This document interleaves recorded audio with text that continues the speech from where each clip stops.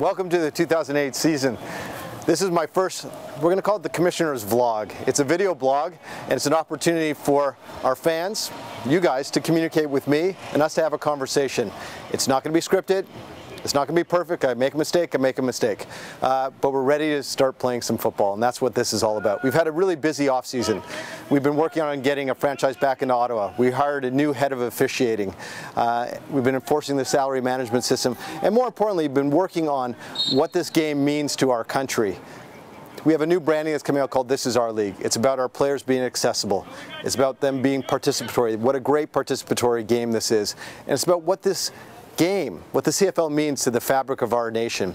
I remember the Grey Cup in Toronto, 53,000 Canadians belting out the national anthem. We were proud, we were loud, and it was a defining moment for me in terms of what this league means to our nation. And we're coming off an amazing you know, season last year, the highest attendance since 1983, really strong TV ratings, you know, more and more fans wearing their CFL colors, and a great, great cup.